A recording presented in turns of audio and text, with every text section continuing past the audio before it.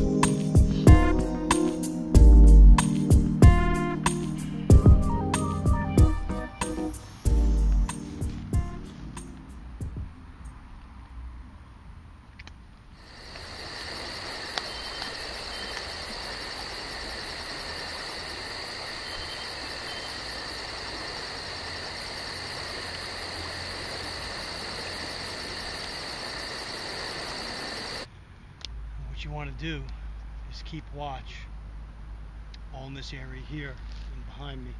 Make sure nobody comes up.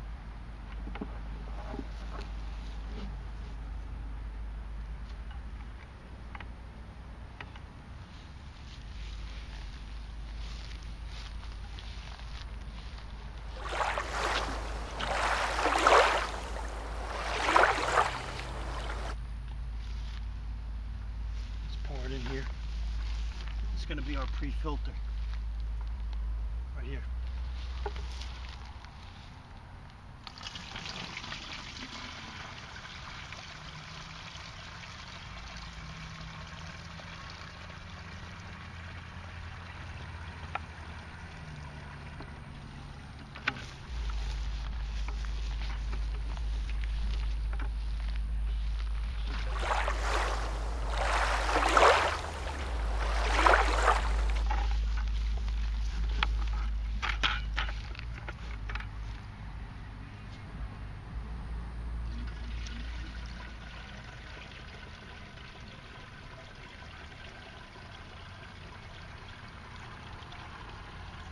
This side.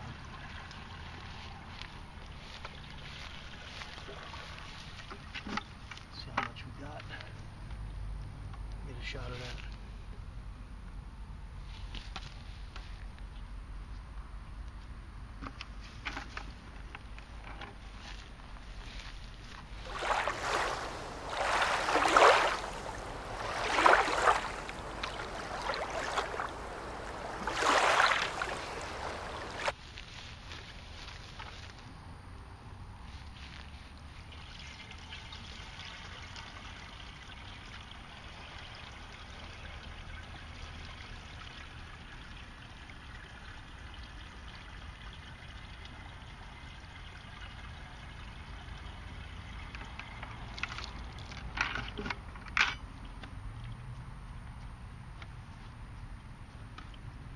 Okay.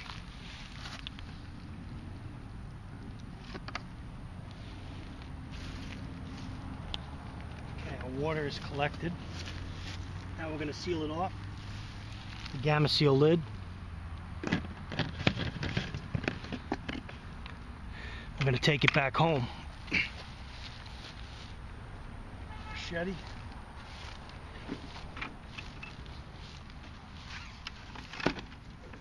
Fishing pole.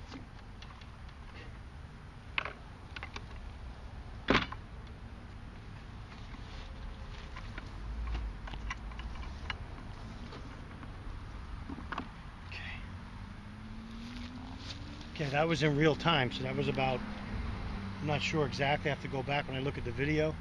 You're talking probably four to five minutes to collect the water. Now, follow the same path we were when we came in.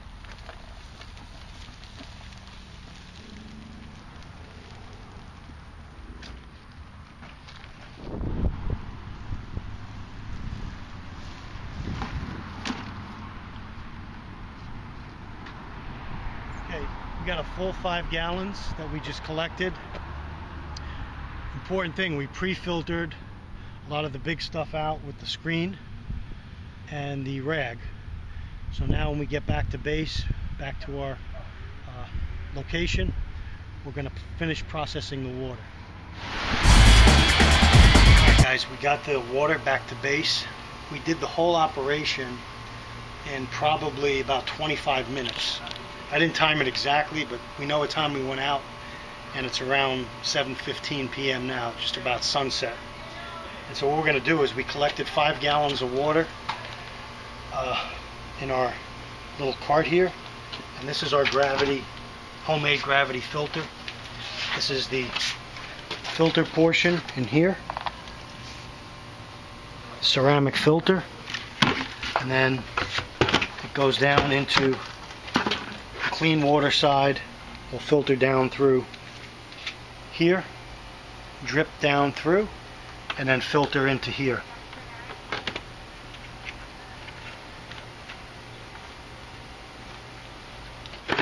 In order to process this water if we wanted, we could take our rocket stove right here.